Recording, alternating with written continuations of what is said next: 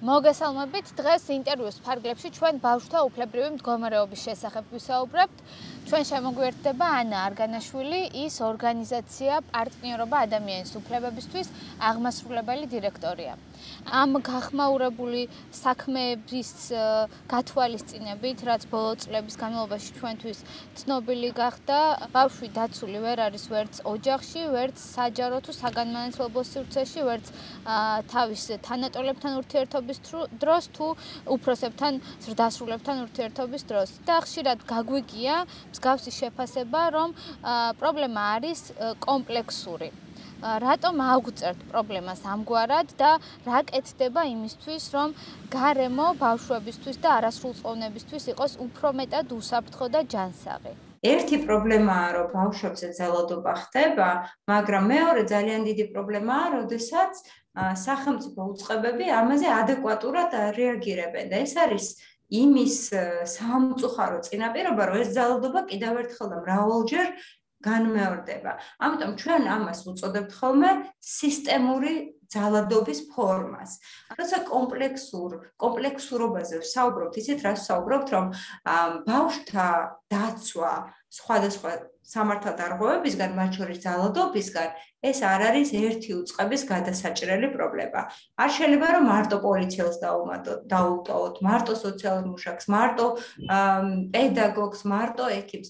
ეს ადამიანები უნდა მუშაობდნენ ერთად, შეთანხმებულად და ჩვენ რას ხედავთ დღეს, რომ ძალიან ხშირად იმიტომ არ რეაგირებენ ბავშვის ინტერესთან გამომდინარე, რომ ამბობენ, მე პირდაპირ არ მიწერია კანონში და რატომ უნდა გავაკეთო? შენ შეიძლება პირდაპირ არ გიწერია კანონში, მაგრამ განმარტე კანონი ისე, როგორც ეს იქნებოდა ბავშვის საუკეთესო ინტერესი და ნუ აიცილე პასუხისგებლობას. ბოლო დროს გახმაურებული ძალადობის შემთხვევა საჯარო სკოლაში, რომელსაც ადგილი არ ქონდა უშუალოდ სკოლაში, არამედ სივრცის გარეთ. გასული წლების განმავლობაში ასევე უშუალოდ სკოლის მოსწავლეებს შორის ძალადობრივ შემთხვევებს, როდესაც აქვს ადგილი, თითქოს პასუხისმგებელი პირების მიდგომა არის მსგავსი, რომ ძალადობას, ამა თუ იმ კონკრეტულ ძალადობის ფაქტს ადგილი არ ქონია საგანმანათლებლო სივრცეში, არის თუ არა ეს პასუხისმგებლობის არიდების მცდელობა და ზოგადად როგორი უნდა იყოს პასუხი იმ სკოლაში უნდა სწავლობდეს იმას, რასაც დაიცავს რაც მას დაიცავს შემდგომში ძალადობისგან. ძალადობისგან ბავშვის დაცვა არ იწყება მაშინ, როდესაც ძალადობა ხდება. ეს იწება გაცილებით ადრე. ანუ ბავშვების ინფორმირება ძალადობის დაუშვებლობაზე, ბავშვების ინფორმირება როგორ დაიცვას თავი, ბავშვების ინფორმირება როგორ არ იყოს პასიური მაყურებელი თუ მის გვერდზე ძალადობენ, ბავშვების ინფორმირება როგორ წავიდეს და დახმარება მოითხოვს. ეს ყველაფერი არის ბავშვთა დაცვა. ამას ბავშვი ვერ ისწავლის იმ მომენტში როცა უკვე ხდება. ეს უკვე ძალიან გვიანია. სხვა სხვა სახის სოციალურ-ეკონომიკური პრობლემების ფონზე უწევთ. საქართველოსი ოჯახებს ცხოვრება. ძირითადად საერთოა კულტურული თუ ტრადიციული ფონი ბავშვებთან თუ არასრულწლოვნებთან ურთიერთობების მიმართებით. საკუთარი შვილებისთვის უფრო ჯანსაღი გარემოს შესაქმნელად საქმნელად რა უნდა გაითვალისწინონ ოჯახებმა და მშობლებმა უშუალოდ. მეც მქონია შემთხვევა, როდესაც თქვა ჩემშვილს უთქვავს, რომ შეიძლება გარეთ იგივე ტელევიზიის წინ რაღაც წელ-წელ საუბარს კარგად ვაკეთებდე ბავშვთა უფლებებზე, მაგრამ საერთოდ სხვა გამოწვევა როცა უკვე ბავშვთან ურთიერთობ. და მეც მზად ვარ, რომ თვით კრიტიკა მქონდეს იმაზე, რამდენად ერთია ვიცი და მეორე შემიძლია რომ შექმნა ჯანსაღი გარემო. ამიტომ გამოსავალს ნამდვილად ხედავთ ამ დისკუსიის გახსნაში. რა არის ჯანსაღი გარემო? მაგალითად, თუ ოჯახში ხდება ძალადობა და ქალს გონია რომ ეს ძალადობა უნდა მოითფინოს იმისათვის რომ ბავშვს ორივე მშობელი ყავდეს, ჯანსაღია ეს გარემო? ანუ ხომ მეტად ხომ არ ზიანდება ბავშვი ამ ძალადობა ძალადობის მომსწრეთ ყოფნის, იმიტომ რომ თუ გადავხედათ კვლევებს, აღმოჩნდება, რომ კი, შეიძლება მეტადაც დაზიანდეს და შეიძლება უფრო ნაკლები ზიანი მიდგომოდა შვიდ გარემოში, რომ ეცხოვრა, ხო? თქვა ერთ მშობელთან. ამიტომ ჩვენ არ უნდა შეგვეშინდეს დავსვათ კითხვები იმის შესახებ, რა არის ბავშვისთვის სწორი გარემო? ხშირად ხდება ხოლმე ცალმხრივად შეხედვა საკითხის.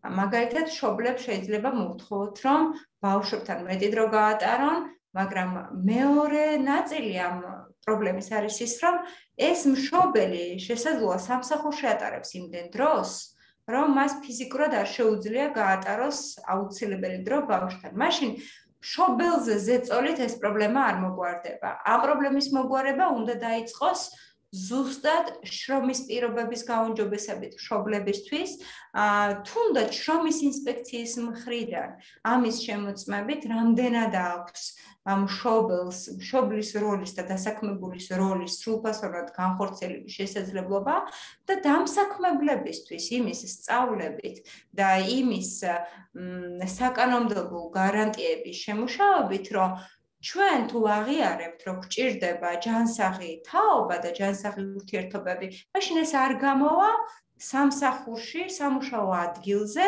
დასაქმებულისთვის ამ პირობების შექმნის გარეშე. ნიშნულოვანი კონტექსტი და ფაქტორია შეიძლება ვთქვათ ის ინფორმაცია და გამოსახულება, რომელსაც ბავშვი არასრულწლოვანი თვალს ადევნებს სატელევიზიო ეთერით თუ ონლაინ მედია საშუალებებით, მათ შორის ღია სივრცეებში გვახსოვს ჩვენ სისხლიანი ბანერების გამოფენა და ზოგადად ძალადობის ამ ფორმების ნორმალიზება არა მარტო ხელისუფლებიდან, პოლიტიკურ ცხოვრების განუყოფელი ნაწილია ეს ყოველივე აი როგორ აისახება და რა გავლენა აქვს სიძულვილის ენას ძალადობას მტრულ განწყობას ბავშვებზე მოზარდების ქცევაზე და რა სამომავლო შედეგი შეიძლება ჰქონდეს? ჩვენ უკვე ხედავთ შედეგებს. ეს შედეგები არის გამოწვეული იმ მიზეზებით როგორ გარემოში ცხოვრობთ მათ შორის იმ სიზურლის შემცველი ინფორმაციით რაც უცელდება მათ შორის ფსიქიკური ჯანმრთელობის პროგრამების არარსებობით მათ შორის არაპროგნოზირებადი გარემოთი, აი ჩვენ არასოდეს არ ვიცით მაგალითად ხვალ რა კრიზისი შეიძლება დაიწყოს და ეს ყველაფერი რა თქმა უნდა შემდეგ გამოიხატება ამ შედეგებში. ამიტომ გაეროს ბავშვთა უფლებების კომიტეტს აქვს ესეთი ძალიან კარგი რეკომენდაცია და ეს ასახულია კონვენციაშიც, რომ ყველა პროცესი რაც ხდება ქვეყანაში, საერთოდ ყველა იქნება ეგ ეკონომიკა, სოფლის მეურნეობა, ნების მეცნიერების ყველა პროცესი, რაღაც მომენტში უნდა გავაანალიზოთ ბავშვების უფლებების ლინზით. ანუ ესა და ეს პროცესი ბავშვებზე რა გავლენას ახდენს? ამ კითხვას როგორც წესი არ სვავთ ხოლმე სამწუხაროდ, თითქოს ჩვენი როლური მოდელი არის ის პარლამენტარები, რომლებიც ძალიან ცუდ მეტყოლებას იყენებენ, ხო, რომლებიც ძალადობენ. ის აღმასრულებელი ხელისუფლების წარმომადგენლები, რომლებიც მაგალითად ჟურნალისტებს დასცინიან. ისინი ჩვენი როლური მოდელები არიან, განსაკუთრებით ბავშვების, არაერთ ბავშვს უთქვავს ჩემთვისაც და ბევრი მასწავლებლისთვის, რომ რატომ ვითხოვთ ჩემგან ეთიკურ ქცევას? თუ პოლიტიკაში არს მოღვაწე პირები, ვისაც განსაკუთრებით მაღალი მოთხოვნები უნდა წავუყენოთ, აი ასე იქცევიან. სახელმწიფოს თუ შესაბამისი უწყებების დონეზე რამდენად არის გააზრებული და გათვალისწინებული ბავშვთა საჭიროებები თუ სურვილები და ისევ და ისევ რომ მიუბრუნდეთ გახმაურებულ ჩვენთვის ცნობილ საქმეებს, რა ვისწავლეთ იმ საქმეებიდან, რა ისწავლა მაგალითად ლუკას სირაძის ამბის შემდეგ შესაბამისმა უწყებებმა სხვა საქმეებთან მიმართებით მოზარდებთან ურთიერთობის დონეზე. და ასევე საყურადღებო ფაქტორია აქაც, რომ საქმეში მსჯავრდებული გამოძიებელი მარიანა ჩოლოიანი აგვისტოში გაათავისუფლეს, რასაც ასევე მოყვა პროტესტი. ალბათ პირველი ის უნდა ვთქვათ, რომ სამწუხაროდ არც ლუკას ირაძის, არც 51 სკოლის, არც შაქარაშვილის საქმემ ჩვენ არ გვიბიძგა ერთხელ მაინც დისკუსია ქონოდა იმის შესახებ თუ რა უნდა გაგვეკეთებინა რომ ეს არ მომხდარიყო. ანუ დასჯა არის ერთი რეაქცია რაც უნდა მოხდეს დამნაშავისა, მაგრამ პრევენცია არის ბავშვებისთვის გაცილებით მნიშვნელოვანი. ანუ აი იგივე ლუკასირადის საქმეში ერთ-ერთი მთავარი დარღვევა იყო ის, რომ ბავშვი იყო ადვოკატის გარეშე, პოლიციაში გამოკითხვაზე, რაც არის ძალიან სერიოზული დარღვევა, მაგრამ დღეს ისევ ხედავთ იგივე პრაქტიკას, როდესაც მოწმის სტატუსით აბარებულ ბავშვებს არ ყავთ ადვოკატები, ხო? აა 51 სკოლის საქმეზე ჩვენ დავინახეთ, რომ სკოლებში არის გამეფებული ბულინგის ატმოსფერო და როცა ძალიან ზაფრდება ეს ბულინგი და ძალადობა, მე ხდება ტრაიკული მოვლენები. მაგრამ ჩვენ ისევ არ გვაქვს ბულინგის და სკოლაში ბავშვების ურთიერთჩაგურის არც პოლიტიკა, არც ადეკვატური მექანიზმი. არაერთ საქმეში დავინახეთ, რომ ბავშვები რომელთა მშობლებიც არიან შრომით მიგრაციაში, არიან განსაკუთრებით მოწყვლადი, რომ დაირღვევა მათი უფლებები. ამაზე სახელმწიფოს ვაწუდით ინფორმაციას, ფაქტიურად განგაში უნდა გამოვაცხადოთ იმ კუთხით, რომ ამ ბავშვებს დღეს ჭირდება ხარდაჭერა, აღრიცხვა, ზედამხედველობა და სახელმწიფო არაფერს არ აკეთებს. სახელმწიფოს არ აქვს არანაირი პროგრამა, არანაირი სამოქმედო გეგმა სუიციდის პრევენციისა. ერთ-ერთი საქმე. ბავშვთა სიღარიბე ოჯახებში, რის გამოც ხდება უკანონოდ ბავშვების გაყვანა ალტერნატიულ ზრუნვაში. აქაც სახელმწიფოს არა გაუმჯობესება. ანუ ეს ყველაფერი არის წითლად ანთებული სიგნალები. ეს სიგნალები მოდის ჩვენ ვაწვდით ამას სახელმწიფოს, მაგრამ სამწუხაროდ პრევენციულად არ ხდება არაფრის გაკეთება და ამაშია მთელი პრობლემა. ხშირად გვესმის ამბები, საქმეები, რაც უშუალოდ ბავშვთა მიმართ ძალადობას ჩაგვრას შეეხება. ეს სიხშირე რა შეიძლება დავუკავშიროთ? ან როგორ შეიძლება ახსნათ მეტად ვაქცევთ უკვე ყურადღებას ასეთ საკითხებს, სადაც რაც ბავშვთა უფლებრივი მდგომარეობის გაუმჯობესებისკენ შეიძლება იყოს მიმართული თუ გავიზარდეთ როგორც საზოგადოება თუ რასთან გვაქვს საქმე ამ შემთხვევაში? მე ძალიან ოპტიმისტურად ვარ საზოგადოებასთან მიმართებაში. ნამდვილად მგონია, რომ გავიზარდეთ როგორც საზოგადოება. 5 წლის წინ უფრო მისაღები იყო ბავშვის წამორტყმა, პანჩურის ამორტყმა, დასჯა. აი დღეს ხედავთ რეაქციებს თუნდაც გუშინ გავრცელებულ ნიუსზე, რომელიც ბავშვის დასჯას ეხებოდა ხილის მოპარვის გამო, ხო?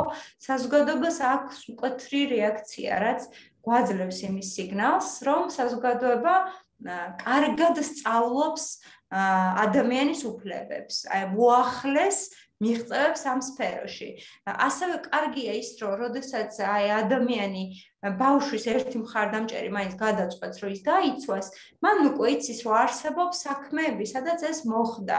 შეიძლება ერთი საქმეა, მაგრამ ეს მას უნათებს, რომ იმედით იყოს ბავშვის დაცვის საქმეში თავადაც და ხმა აიმაღლოს, მაგრამ ჩვენ არ უნდა დაგვაუწყდეს, რომ ბავშვთა უფლებები არის ესეთი სფერო, სადაც არ არის ხშირად არავინ, ვინც ამ ბავშვის უფლებას დაიცავს. ანუ ერთის დასრულით შეიძლება არ იყოს ირგვლივ და აი ზუსტად ასეთ შემთხვევებში სახელმწიფოა ვალდებული, რომ იცოდეს, რომ ბავშვს უფლება ირღვევა, ან უნდა სწოდნოდა სტანდარტით დაიცვას ეს ბავშვები. როდესაც ისევ და ისევ სხვადასხვა ამბავი გვესმის ბავშვებს შორის ან არასრულწლოვნებს შორის ძალადობის ფაქტების შესახებ, ან როდესაც საუბარია მოზარდთა ემოციური მდგომარეობაზე, თანაგრძნობის ემპათიის გამოხატვაზე, პასუხისმგებლობის გააზრებაზე, საკუთარ ქცევებზე, უფროსების მხრიდან რიგ შემთხვევებში ბრალეულობის გადატანა ხშირად სწორედ გაჯეტებზე, ინტერნეტ სივრცეებზე სივრცეზე ხდება. რამდენად გამართლებულია იმ მხოლოდ ვირტუალურ სივრცეში ვეძიოთ პრობლემების სათავეს? ამ საკითხზე ძალიან კარგი კვლევა ჩაატარა UNICEF-მა და ამ კვლევაში იყო ძალიან კარგი მიგნება, რომ ბავშვისთვის რაღაცის აკრძალვას, მაგალითად ინტერნეტის აკრძალვას, თუ შენ არ სთავაზობ ამის ჩანაცვლებას სხვა აქტივობით, აი მაგალითად კოვიდის დროს ვიცით რომ ბევრი ბავშვი არის გამოკეტილი, ხო? და არ აქვს სხვა გასართობი. ამ დროს აკრძალვა არ არის ეფექტური, იმიტომ რომ ერთ-ერთი დაჯის პრინციპია და მეორეც ერთი უსამართლოა, აუკრძალო და არაფერი შესთავაზო.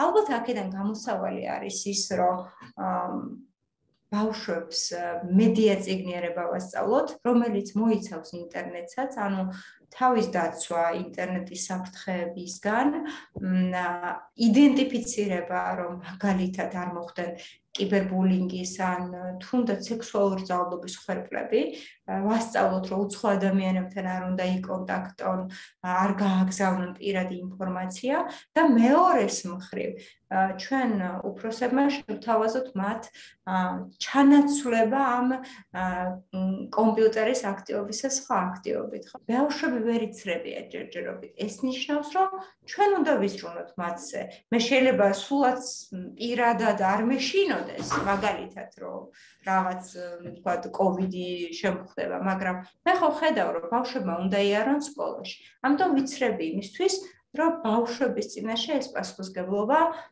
გავიაზრო და მათ მივცეს საშუალება, რომ იარონ სკოლაში. დიდი მადლობა ანა ინტერვიუსთვის, ძალიან საინტერესო თემების მიმოხილვისთვის. მადლობა. დიდი მადლობა და წარმატებები.